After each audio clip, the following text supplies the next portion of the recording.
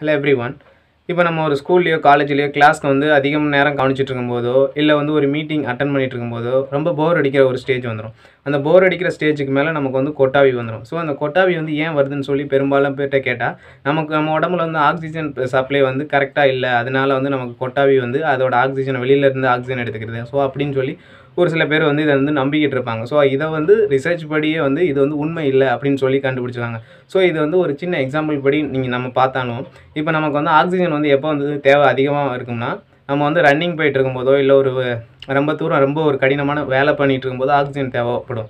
So அந்த ஒரு ஸ்டேஜில் நம்ம வந்து கொட்டாவி விட போகிறதில்ல நம்ம வந்து ரொம்ப டயர்டாக இருக்கிற நிலமையில மட்டும்தான் நம்ம கொட்டாவி விடுவோம். ஸோ அந்த கொட்டாவி வந்து விடுறதுனால ஆக்சிஜன் வந்து ச பத்தாமல் போகிறதோ இல்லை வந்து அதிகப்படுறதோ வந்து இது வந்து ஒரு மிக தவறான ஒரு செயல் அப்படின்னு சொல்லி சயின்டிஃபிக்காக ரிசர்ச் பண்ணியிருக்காங்க.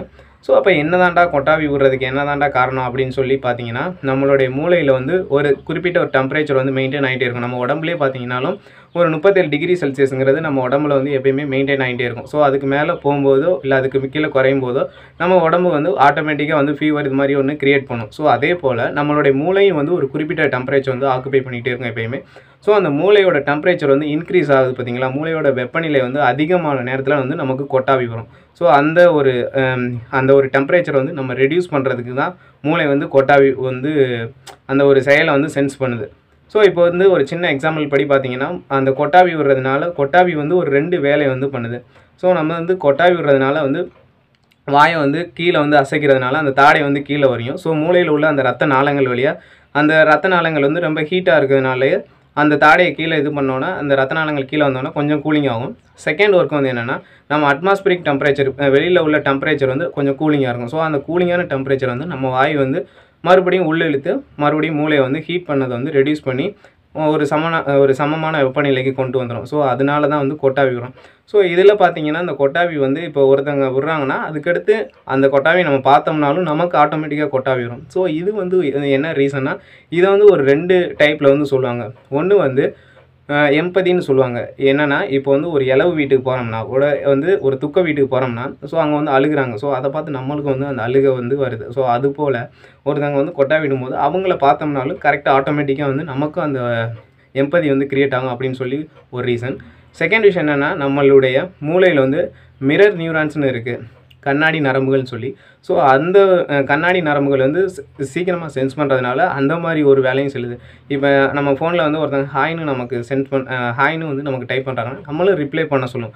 ஹாய்னு டை டைப் பண்ணோம் அப்படின்னு சொல்லி நம்மளுடைய மூளை வந்து அந்த மிரர் நியூரான்ஸ் வந்து நம்ம வந்து ஆக்டிவேட் ஆகிட்டே இருக்கும். ஸோ அதனால தான் வந்து இது பண்ணுறோம் இப்போ ஒருத்தங்களை பார்க்கும்போது அவங்க ஸ்மைல் பண்ணுறாங்கன்னா நமக்கும் வந்து ஸ்மைல் பண்ண தோணும். ஸோ அந்த மிரர் நியூரான்கள் வந்து எப்பயுமே ஆட்டோமேட்டிக்காக வந்து நம்ம நம்ம மூளையில் வந்து ஆக்டிவேட் ஆகிட்டு இருக்கும். ஸோ அதனால தான் வந்து இந்த கொட்டா விடுறது கூட ஒரு ஒருத்தவங்களை பார்த்தோன்னா அடுத்தவங்களுக்கு வந்து அந்த கொட்டாவி விடுது அப்படின்னு சொல்லி சைக்காலஜிக்கலாக நிரூபிக்கப்பட்ட ஒரு உண்மை. ஸோ யதார்த்தமாக என்னென்னு பார்த்தீங்கன்னா கொட்டாவி விடுறதுக்கு ரீசன் வந்து எப்பயுமே அதே போல்.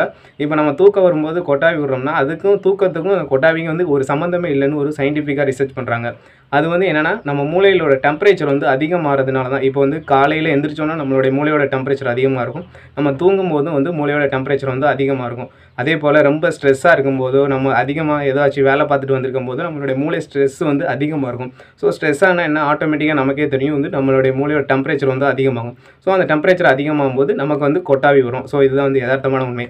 இன்னொரு விஷயம் வந்து என்கிட்ட கேட்கலாம். என்னென்னா டெம்பரேச்சர் அதிகமாக இருந்தால் கொட்டாவி வரும் அப்படின்னு சொல்கிறேன் அப்போ வந்து பாலைவனத்தில் உள்ளவங்க இல்லை வந்து அண்டார்டிகா பகுதி ரொம்ப கூலிங்கான பிரதேசத்தில் உள்ளவங்களுக்குலாம் கொட்டாவி வருமா வராதா அப்படின்னு சொல்லி கேட்கலாம்.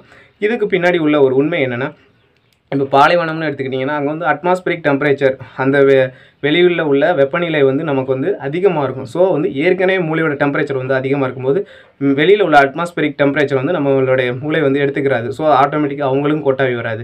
செகண்ட் வந்து இப்போ வந்து நம்ம ரொம்ப சி இந்த கடல்வாழ் சைடெலாம் வசிக்கும் போது அங்கே வந்து ஒரு குறிப்பிட்ட டெம்பரேச்சர் வந்து ரொம்ப கூலாக இருக்கும். ஸோ கூலாக இருக்கும்போது நம்மளுடைய பாடி டெம்பரேச்சரும் கம்மியாக இருக்கும்.